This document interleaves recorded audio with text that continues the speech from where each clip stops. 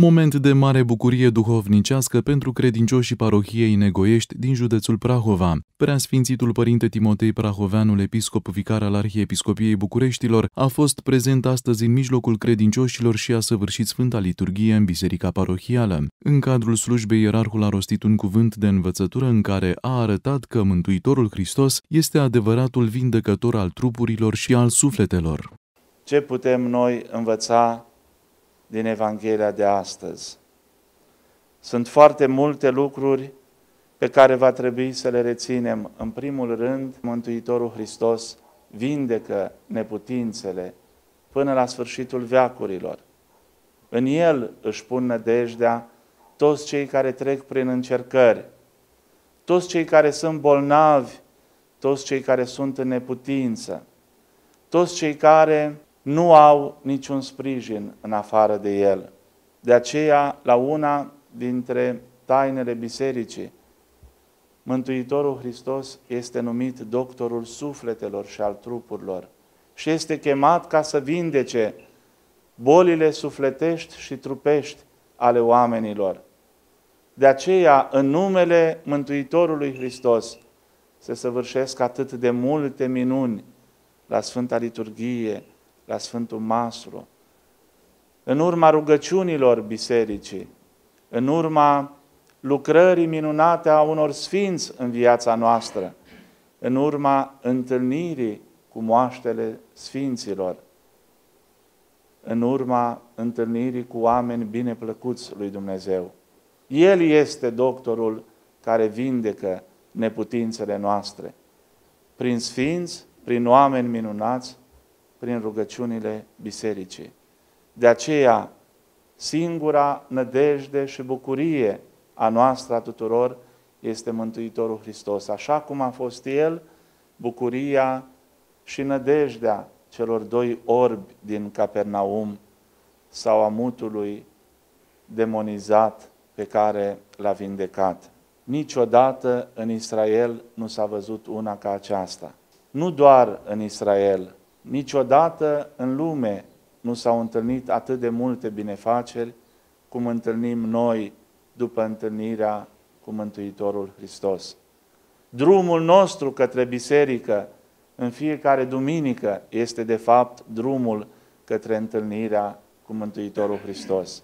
Pentru activitatea desfășurată, părintele paroh a primit ordinul Sanctus Stefanus Magnus, iar primarul comunei Braze a primit ordinul Sfinții Martiri Brâncoveni în semn de recunoștință pentru sprijinul acordat parohiei. După săvârșirea Sfintei Liturghii, preasfințitul părinte Timotei Prahoveanu a binecuvântat Centrul Social Pastoral al parohiei Negoiești, ocrotit de Sfinții Martiri Brâncoveni. Preasfinția s-a subliniat importanța acestui centru în activitatea socială și pastorală a parohiei.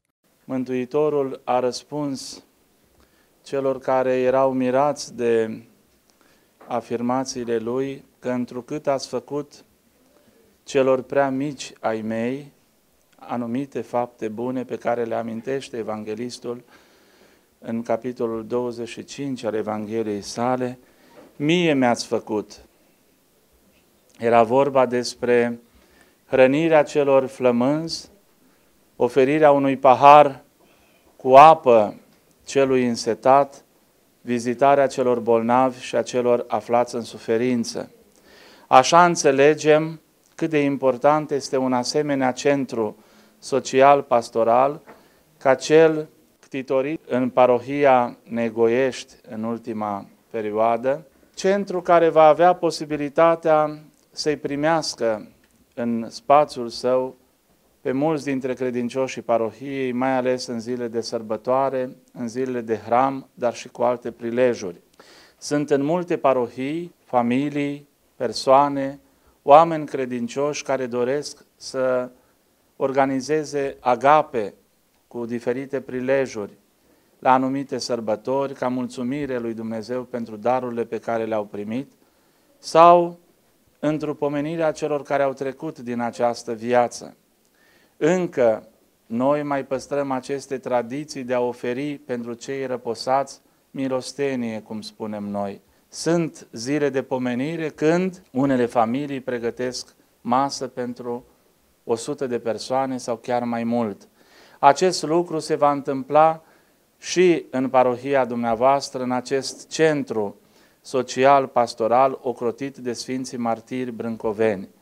Un astfel de centru care are sală de mese sau trapeză, cum mai numim noi, cancelarie eparhială, bibliotecă, arhivă și alte spații folositoare comunității dumneavoastră euharistice, îi va ajuta pe mulți oameni ca să fie în comuniune, fiind împreună în zile de bucurie și în zile de întristare.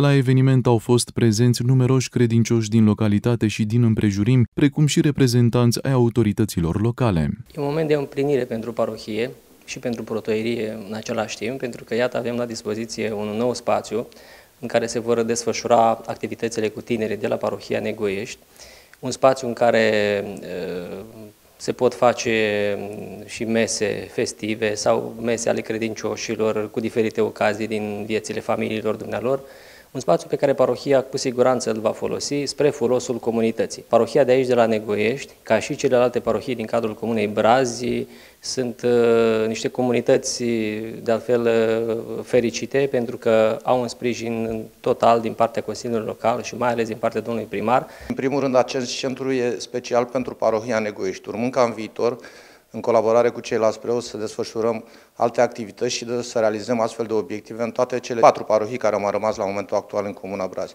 E foarte important pentru că locuitorii din uh, satul Negoiești își doreau acest lucru, voiau să aibă un centru social în care să desfășoare anumite activități religioase. Și pentru acest lucru am considerat că trebuie să ne implicăm și, bineînțeles, și eu să ajutăm tot ce se poate, din punctul meu de vedere, pentru a sprijini Biserica Ortodoxă, nu numai din satul Negoiești, din toate uh, bisericile de pe raza Comunei Brasi. Astăzi, cu ajutorul Dumnezeu, este un moment de împlinire, de mulțumire pe care o aducem lui Dumnezeu pentru binefacerile Lui, care le-a vărsat asupra noastră, prin binecuvântarea acestui uh, așezământ uh, social, um, administrativ, în care noi vom derula mai multe activități. Aveam nevoie de această clădire în care să putem să, pe de o parte, să ne strângem, să uh, fim în comuniune și să gândim proiecte și activități care să Uh, să ne apropie înaintea lui Dumnezeu, să ne pună înaintea lui Dumnezeu, pentru că avem nevoie să fim unii alături de alții și aveam nevoie undeva să ne strângem și cred cu ajutorul Dumnezeu că este uh, foarte, foarte binevenită această clădire. Biserica parohială din Negoiești are hramurile Adormirea Maicii Domnului și Sfântul Ierarh Nicolae.